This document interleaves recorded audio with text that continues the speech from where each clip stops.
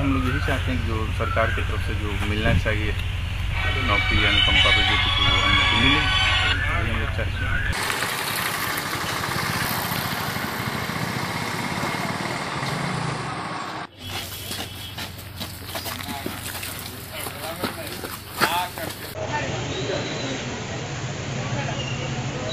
उनको बीमारी थी पहले से और सुबह अचानक से हार्ट फेल होने से उनकी मृत्यु हो गई है। पोस्टमार्टम रिपोर्ट में मृत्यु का कारण हार्ट फेल बताया था। लेकिन 10 दिन पहले चूँकि वो कैंप में पोस्टेड रहे थे, काफ़ी फ्रंट लाइन पे पोस्टेड रहे हैं तो हमने उनका कोविड जाँच कराना उचित समझा। और जो कोविड जाँच कराई, जिसमें वो पॉजिटिव पाए गए हैं, उनके संपर्क में जो व्यक्ति आए थे, सबकी हम लोगों ने सूची बना ली है।